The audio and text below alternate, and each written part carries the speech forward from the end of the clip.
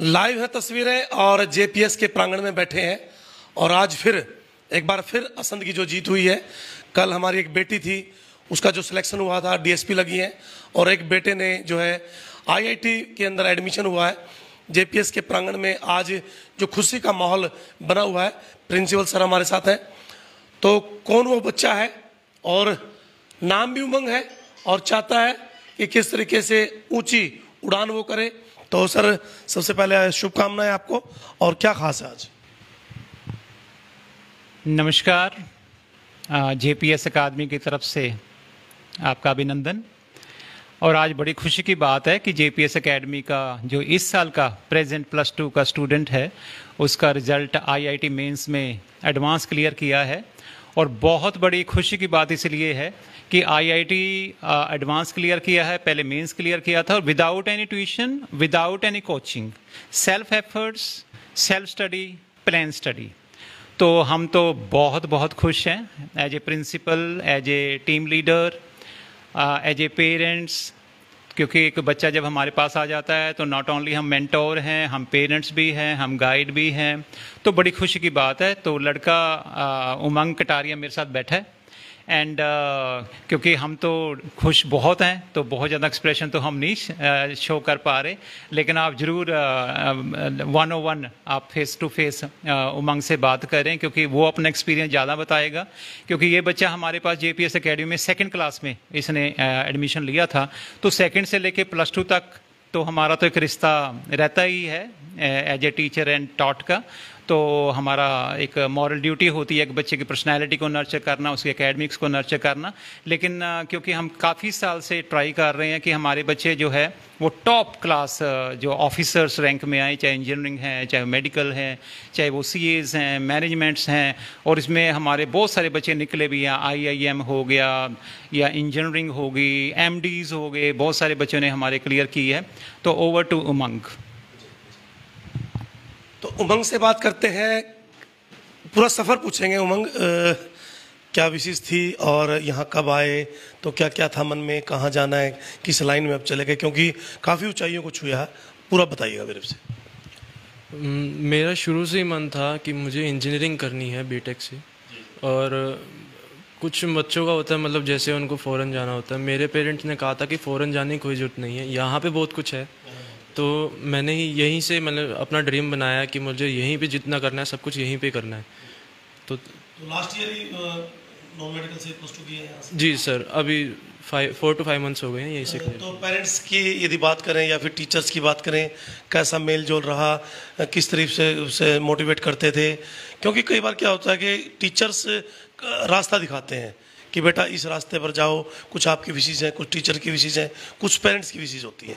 कैसा रहा? टीचर्स ने काफ़ी सपोर्ट किया उन्होंने काफ़ी मतलब जितने बहुत पढ़ाया हमें जितना हो सके उतना पढ़ाया और जितने बेसिक फंडामेंटल्स थे वो हमारे क्लियर कराए और प्रिंसिपल सर ने भी काफ़ी मोटिवेट किया मुझे पुश किया कि मतलब मुझे आगे बढ़ना है और देश में देश में करेंगे जो भी जी सर जो करेंगे यहीं पे करेंगे और जी सर। तो देखिए उमंग की उमंग है जो कि अपने देश के लिए बहुत कुछ करना है और उनकी मम्मी भी साथ हैं उनसे बातचीत करेंगे कि जैसे ही रिज़ल्ट आया तो पूरे परिवार की आँखों में प्यार भरे आँसू आ गए।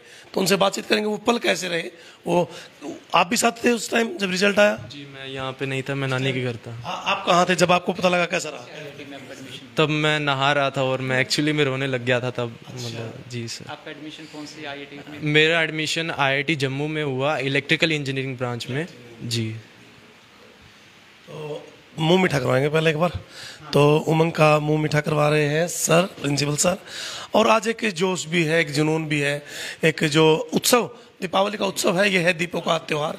जब कोई बच्चा अपने देश के लिए जो बहुत कुछ करता है तो काफ़ी खुशी माँ बाप के मन में जो स्कूल के टीचर्स हैं उनके मन में होती है।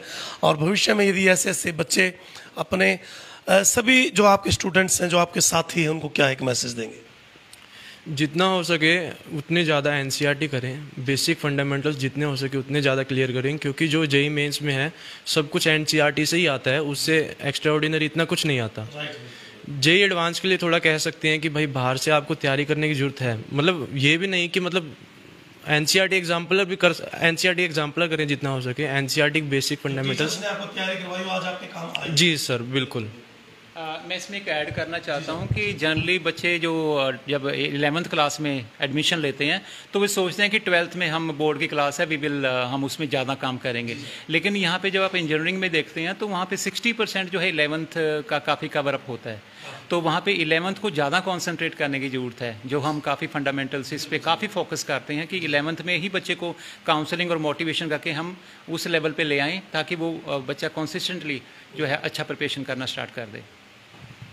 तो खुशी का दिन है, खुशी का त्यौहार है, उनकी मम्मी से जो है बातचीत करते हैं कि कैसा रहा, क्या फीलिंग्स जो है आपकी उस समय रही। सबसे पहले पूरा परिचय दें, आप अपना भी और इनके पिताजी का भी। सबसे पहले तो नमस्कार, मेरा नाम अन्नू कटारिया और इसके पापा का नाम ललित कटारिया। हम लोग असम से बिलोंग करते हैं और मेरे बेटे ने अभी आईआईटी में एडमिशन हुआ है उसका, आईआईटी जम्मू में।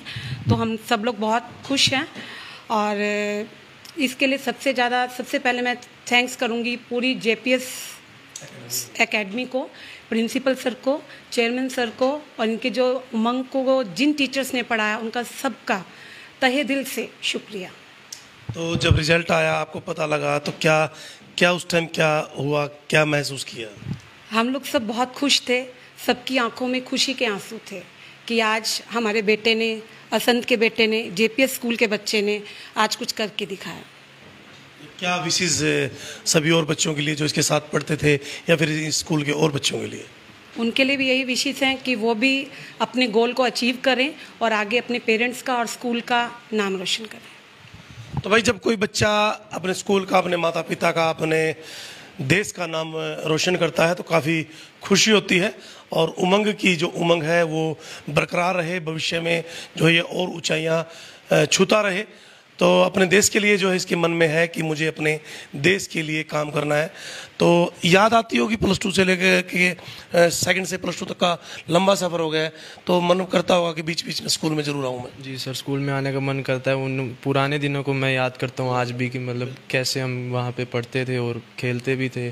साथ के साथ पैरेलल सब कुछ चलता था। हमने सब कुछ किया है। मतलब मज़े भी करे हैं और पढ़ाई भी किया साथ तो अभी अभी सभी साथी मिले हैं? जी सर मिलते रहते हैं, उनसे बात भी होती रहती है, बातचीत होती है। जी, सर। और भी जो स्टूडेंट हैं, वो उमंग की तरह जो है तैयारी करें। और जैसे सर ने बताया कि इलेवेंथ के ऊपर जो है फोकस किया जाता है एनसीईआरटी से ही जो है पूरा का पूरा सिलेबस आता है। अलग एक्स्ट्रा तैयारी करवाने की कोई ज़रूरत नहीं पड़ती। एक विश्वास होता है स्कूल का, और स्कूल के जो टीचर्स आपको जिस तरीके से काम करवाते हैं, उनका जो अनुभव है कई वर्षों का, वो आपके काफ़ी काम आता है। तो दोस्तों बने रहिएगा। और जेपीएस एकेडमी ने जो आज एक नई बाजी मारी है, उसके लिए सभी को शुभकामनाएँ। आपका बहुत बहुत धन्यवाद। जय हिंद, जय भारत, जय हरियाणा।